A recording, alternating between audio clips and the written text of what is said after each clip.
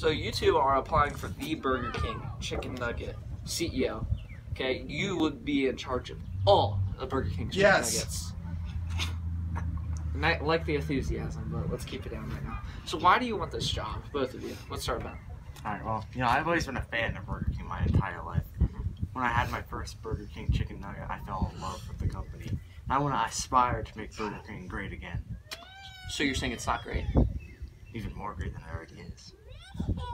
Okay, s- Nick, why do you want this job? Well, I need a new job after becoming dethroned as the main leader of the drug cartel of uh, Venezuela. Nice job resume. What's your job resume? Like, what jobs have you had previously? I've been to Harvard. Okay, so um, we're gonna ask you some questions about Burger King, so we want to make sure you know about our product. So, what's the number six on the dollar menu? Chicken nuggets. Chicken nuggets. Both incorrect. It is nothing. There is no number six on the dollar menu. Okay, how many chicken nuggets can you get in one box? The max. The max is 12. 20. Correct. Okay.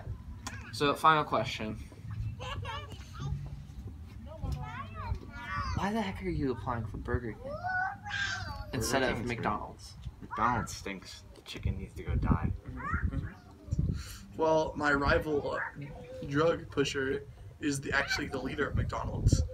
And I am now wanting to rise up in the ranks of Burger King to dethrone him and finally become the top drug seller in America. Okay, so here's how you guys both have had great interviews. To decide who is actually getting the job, whoever hits each, uh, whoever hits the other person first with this water bottle wins. Congrats! I've done it, mother. Oh, and you're allowed to put drugs in the chicken nuggets. That's your call. Ah.